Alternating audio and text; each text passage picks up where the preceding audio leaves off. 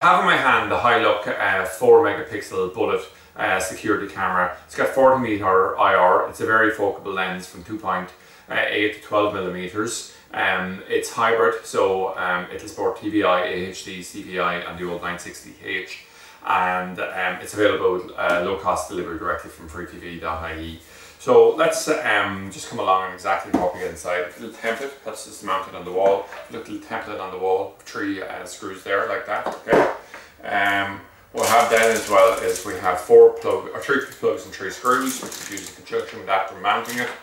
Um, we have a little user manual for it. What I've actually done here is I've just pulled off the plastic tab on the bottom, just gives us access in here to adjust the focus. Um, uh, and the zoom on it, okay, so you can adjust it exactly. And then the picture quality on it, of course, is 4 megapixel. So just to show you the versatility of this, um, so the default one on this would obviously be TVI, um, but I'm just actually going to, do, use this with the, the Hua um, DVR here, which is default CVI, but it is hybrid, okay? So what I'll do here is I'm just going to put the power in here and get the BNC connection on it. And we'll just see how it adjusts for it here. So it's going to pick up, I just hold the camera up for a second maybe aim back at uh, maybe over the sign here. So just a stick maybe about uh, 10 or 15 seconds it'll kick in all the rest of here.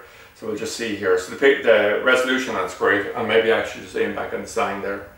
So here is good, you know, and what we can do there is we need to zoom it in a little bit, uh, the zoom in on particular locations, okay? But we can do that directly on the adjustment thing here. So these cameras here are great, like 4 megapixel, it's absolutely phenomenal in terms of the picture quality we're achieving now on it.